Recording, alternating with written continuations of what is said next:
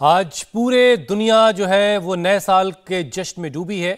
लोग एक दूसरे को न्यू ईयर विश कर रहे हैं, लेकिन इस बीच दिल्ली में साल 2023 के पहले दिन एक दर्दनाक दर्दनाक हादसा हुआ है। दिल्ली के ग्रेटर कैलाश टू में एक ओल्ड एज नर्सिंग होम में भीषण अग्निकांड हुआ और इस हादसे में दो बुज़ुर्ग महिलाओं की जलने की वजह से जान चली गई है, जबकि एक की हालत नाजुक है।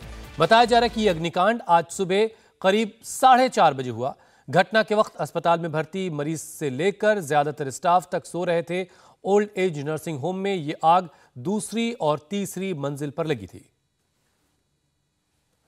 हादसे की खबर मिलते ही मौके पर पुलिस और फायर ब्रिगेड की टीम ने पहुंचकर आग पर काबू पाया। तेरह लोगों को वहाँ से रेस्क्यू किया गया। सभी एडमिट हैं। एक की हालत क्रिटिकल है। जिन दो बुज़ुर्ग महिलाओं की मौत हुई है, उनमें से एक की उम्र छियानवे साल और दूसरी की उम्र छियासी साल थी।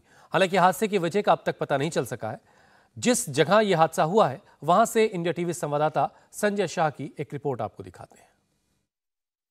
दिल्ली के ग्रेटर कैलाश पार्ट टू में एक old age nursing home care centre में आग ये सिर्फ़ 10 जर्सी गायों के साथ हर साल 18 लाख कमा रहे हैं। आपको भी ये सीखना है?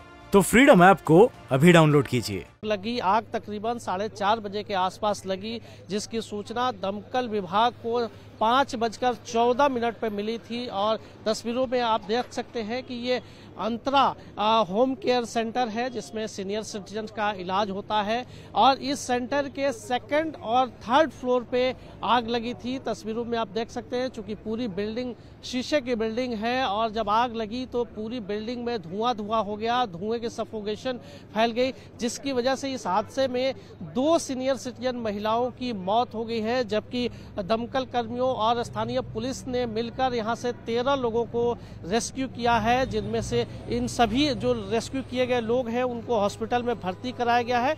इनमें से एक व्यक्ति की हालत ज़्यादा गंभीर बताई जा रही है। फ़िलहाल आग के कारणों का भी पता नहीं चल पाया है। पुलिस और दमकल विभाग का कहना है कि आग के कारणों की फ़िलहाल जाँच की जा रही है।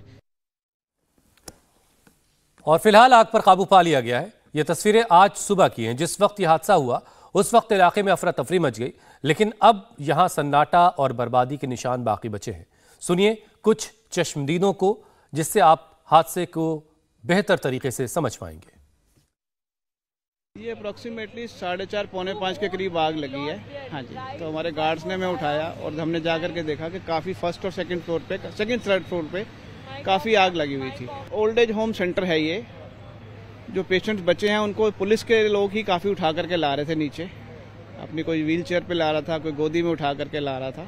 फायर ब्रिगेड मिनिमम पौना घंटा लेट आई है। साल का पहला दिन दिल्ली के लिए बहुत बुरा रहा। पुलिस अब इस बात की जाँच कर रही है कि आखिर आग लगी कैसे। ये सिर्फ़ 10 जर्सी गायों के साथ हर साल 18 लाख कमा रहे हैं। आपको भी ये सीखना है? तो फ्रीडम ऐप को अभी डाउनलोड कीजिए। बिल्डिंग के फायर सेफ्टी नॉर्म्स चेक किए जा रहे हैं। पुलिस ये भी पता लगाने में लगी है कि जिस वक्त आग लगी उस वक्त इमारत के स्टाफ जो है वो क्या कर रहे थे? क्यों किसी ने फॉरन सीनियर सिटीजन्स को वहाँ से बाहर नहीं निकाला? आखिर इतना वक्त कैसे लगा? इन तमाम सवालों के जवाब ढूंढे जा रहे हैं। चार फ्लोर की बिल्डिंग है ये। थर्ड फ्लोर पे आग लगी है।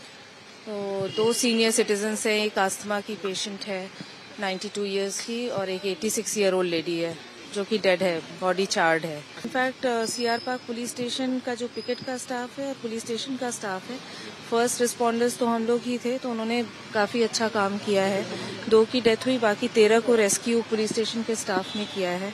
एक की कंडीशन थोड़ी क्रिटिकल है, उसको मैक्स में एडमिट किया गया है। बाकी बारह को इनका दूसरा सेंटर है, जसोला में, वहाँ पे शिफ्ट कर दिया गया है। स्टेबल वो चेक करवा रहे हैं। We are checking all the licenses we are checking the validity इसकी लास्ट सर्विस क्या है, वो सारी जितनी भी इनकी फॉर्मेलिटीज वो चेक करेंगे। इंडिया टीवी हर वक्त, हर जगह। डाउनलोड करने के लिए सर्च करें India TV news Google play store या एप स्टोर पर।